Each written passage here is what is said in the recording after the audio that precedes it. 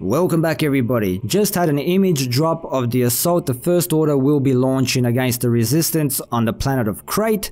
Whatever the Resistance have going on the planet, it looks like the First Order are taking it very seriously. There's your original AT-AT Walker, so we can see the size comparison with the new AT-M6 Gorilla Walkers chugging along a bunch of TIE fighters and some TIE bombers as well. And once again we can see these explosions here showing us that the earth beneath the ash or snow-like powder is indeed red, most likely ash though the planet is rumored to be covered in volcanoes.